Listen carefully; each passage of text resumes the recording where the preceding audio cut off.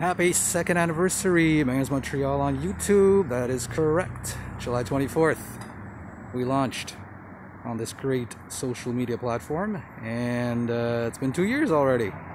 So today we celebrate.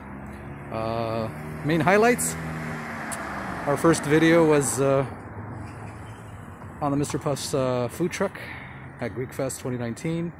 Also, the Yoko Ono exhibit at uh, Fondation Phi. Uh, a train passing by was a big highlight. Got a lot of views. Um, an airplane flying by got a lot of views. My mom's cabbage rolls got a lot of views.